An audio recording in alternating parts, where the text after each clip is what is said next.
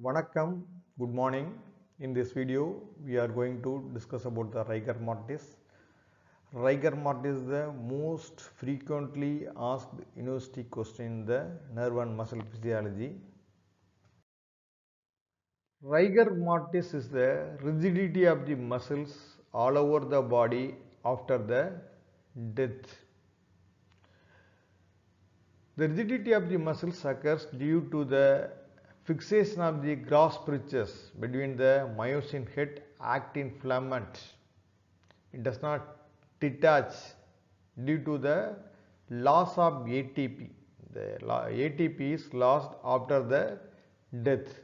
For the detachment of the myosin head from the actin filament requires the ATP. So, the ATP is not available.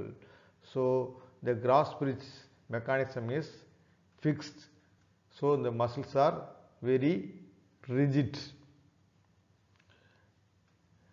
The disappearance of rigidity occurs after some hours.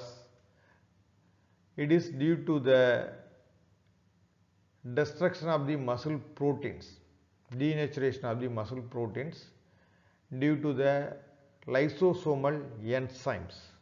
Lysosomal enzymes destroy the protein. So, the rigidity is disappears after some hours or one day or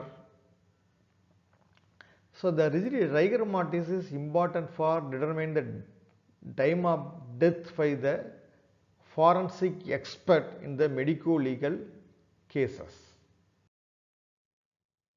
Thank you for watching this video. If you like this video, share your friends. Thank you once again.